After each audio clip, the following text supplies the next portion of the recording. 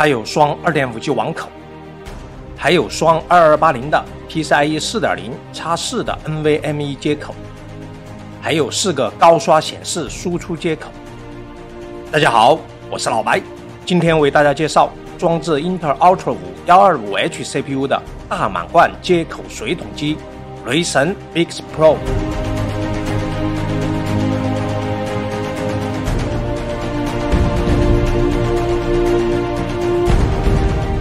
去年我们定义旗舰迷你电脑都有近乎完美的接口配置，双 NVMe 和双 2.5G 网口，三到四个高刷显示接口。可是今年的旗舰机标准，有朋友说必须得有 Oaklink 接口，等于是把旗舰机的标准提高了。于是我们把既有主流 CPU 又拥有大满贯内外接口的，但并不是今年顶级旗舰豪华配置的小主机。称之为大满贯水桶机。一般来说，水桶机不一定是旗舰机，但旗舰机必须拥有水桶机的大满贯接口。大家觉得哪些配置你认为2024年水桶机不用必须拥有呢？比如满血的 HDMI 2.1，还是 Oaklink 接口？雷神 Mix Pro 装置的是英特尔 Ultra 5 125H CPU，是适合18线程。内置一百一十二 EU 的阿克核显，双通道 DDR5 内存，五千六百兆赫兹，双 M.2 PCIe 4.0 NVMe 接口，视频高刷显示输出，双 2.5G 网卡加 WiFi 6E。打开来看一下，主机和配件都在这儿呢。显示器背架和螺丝，说明书。这单槽小电源是十九伏六点三安。一共一百二十瓦功率，小主机是金属机身，塑料顶盖，顶盖上有雷神的 logo。机身接口：前面板、电源开关键，三个 USB 三点二 A 口，全功能 Type C 接口，前置耳麦口。后面板十九伏电源接口，雷电式接口，后置耳麦口。HDMI 2.1接口，DP 1.4A 接口，双 USB 2.0接口，双 2.5G 网络接口，性能模式切换键，底部、双侧和后部都有通风口。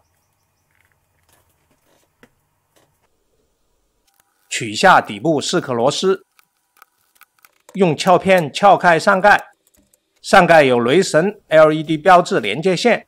正面是系统风扇，再取下四颗螺丝，揭开后部风扇盖板。注意风扇的电源线有些短。双 DDR5 内存，五千六百兆赫兹，双二二八零的 M.2 PCIe 四点零 NVMe 接口，NVMe 下面是 WiFi 六 E 的无线网卡。I O S 很简单，除了启动顺序，几乎没有啥可以设置的，我们的另找方法。进入雷神控制中心软件，我们可以切换三种性能模式。切换时，小主机顶盖的雷神 LED 标志会变换同款颜色。今天我们测试的是最强悍的狂暴模式。稳定性是我们最关心的问题之一。我们打开 i.64 跑 FPU 单考的压力测试，CPU 功耗一开始运行在六十六瓦，很快下滑到六十三瓦，整机功耗运行在九十瓦左右。CPU 整体频率运行在四点二 G 赫兹，随后一直保持在单考的五十分钟内，CPU 功耗一直保持63瓦左右。室温35度的情况下，CPU 温度最高上升到98度，内存温度最高上升到52.5度，SSD 温度最高上升到46度。我们首先使用雷神 Mix Pro 主机的 Ultra 5 125H CPU 来转码，看看实际效能如何。最后结果是十二分十秒，共计七百三十秒，成绩比其他两家的幺二五 H 稍微低了一点点，但比十三代 CPU 的解码时间要快不少。CPU Z 多线程六千六百八十二点五，单线程七百二十九点八，多线程性能介于其他两家的 Ultra 五幺二五 H 之间。Geekbench 五多核一万零九百六十四，单核一千六百六十四。多核成绩稍稍领先了我们测试过的其他两家的幺二五 H，Geekbench 六多核一万一千五百八十六，单核两千三多核成绩和其他 125H 没有啥差别。赛利奔驰 R 二三多核一万四千六百七十六，单核一千七百零一，仍然没有差别啊，几乎一样。Passmark 多线程两万六千三百四十二，单线程三千七百二十九，多核成绩和其他的 125H 差不多。综合来看，目前这台 Ultra 5 125H 六十三瓦的性能发挥和友商六十五瓦性能发挥的 125H 没有差别。接着看娱乐大师，总分一百二十一万零七百三十三，CPU 得分五十七万一千一百零八。我们还给这台幺二五 H 运行了 OpenW 测试，AES 九十万两千九百七十四，叉叉二零四十七万零六百三十七，CoreMark 四十四万二千八百零四。在 CoreMark 成绩上和友商的幺二五 H 差不多，比明凡 MS 零幺幺三九零零 H 要高。但不如 AMD 的七八四零 HS。接着玩游戏，地平线五幺零八零 P 中画质，不开抗锯齿，普通场景六十多帧，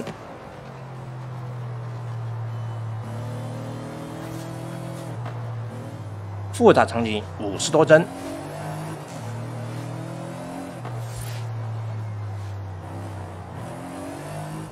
荒野大镖客二幺零八零 P 低画质。运行评估测试，平均帧三十五帧。英雄联盟四 K 中画质，最后大团转九十帧左右。原神幺零八零 P 高画质，跑起来战斗起来五十多帧。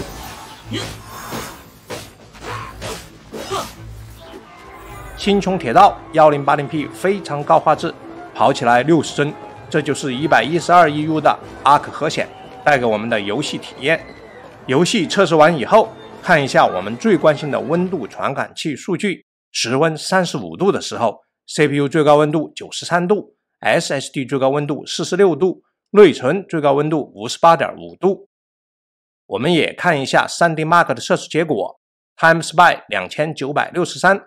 FileStreak 七千五百六十六，SteelNomad Nine 两千五百七十五，稳定度百分之九十九点三。把 3D Mark 的测试数据也做成了图表，我们来看一下，和机械革命的幺二五 H 成绩是一样的。三 A 游戏表现离七八四零 HS 确实还有一段距离。显示接口输出 HDMI 接口最高支持 4K 一百四十四赫兹。八比特 RGB 的非压缩显示信号输出，满足满血的 HDMI 2.1标准。雷电式 DP1.4 全功能 Type C 接口输出 DP 信号，最高支持 4K 144赫兹八比特 RGB 非压缩显示信号输出。我们这台显示器支持 DP 接口超频到160赫兹，超频后雷电式 DP1.4 全功能 Type C 接口能够支持 4K 一百六十赫兹的。八位 RGB 非压缩显示信号输出，英特尔 Arc 一百一十二 EU 的核显视频解码，最高能硬解本地八 K 六十帧 AV 视频，YouTube 八 K 六十帧 AV 视频可以流畅播放。PCIe 四点零 NVMe 硬盘测试，六千一百兆 B 每秒，达到了 PCIe 四点零叉四的中等水平。雷电四外接雷电硬盘盒。三千一百兆 B 每秒，满血的外置存储读写能力。WiFi 测试，英特尔 X 二幺幺 WiFi 六 E 无线网卡跑上了八百兆 bps，算是我的无线网络环境中非常好的水平。螃蟹二点五 G 网卡，我们也使用了 iPad 三测试了内网性能，不论单线程上传下载还是多线程上传下载，都接近二点三七 G，跑满了带宽。这些二点五 G 网卡没有兼容性问题。雷神 Mix Pro 装置了十四核十八线程的 Ultra 5 125H CPU，六十三瓦的性能释放。我们直接列表给大家看，整机功耗没有超过一百瓦，待机最高功耗十一点二瓦。按这个结果，一百二十瓦单槽小电源可以搞定。室温三十五度的时候，CPU 待机温度五十四度，SSD 待机温度四十度。这台小主机 CPU 满载的时候。机身噪音是五十三分贝左右，社会在耳边是四十六分贝。